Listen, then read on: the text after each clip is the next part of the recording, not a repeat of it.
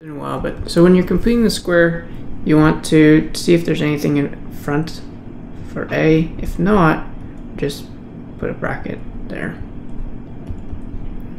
And we have to add a number and subtract a number inside this bracket with our last letter 6 there. And anyway, so now you have to figure out what goes here and here. We'll find these numbers with a formula. It's just b over 2 squared. So what's b? 4.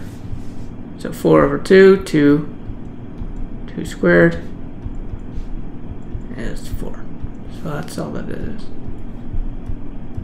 It's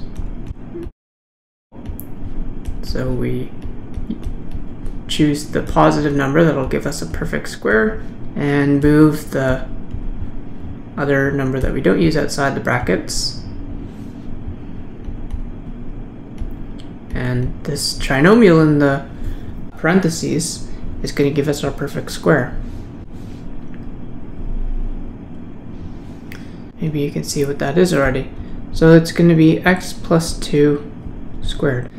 And then we simplify the rest. That's for these types of equations where a is 1. You know, there's some others where you have negative a or a number greater than or less than 1. So this is just showing the first type.